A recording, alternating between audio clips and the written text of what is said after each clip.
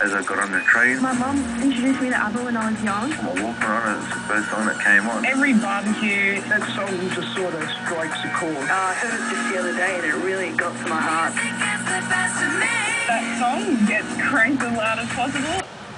Now, your song with Richard Mercer on WS FM 101.7. Real people and real stories about the power of music. Sometimes a TV series doesn't get off the ground. The Heights in the early 90s was such a series. It did give us a top five hit here, though. Either song. I'll play it for you shortly. Not before these guys, though, on WSFM.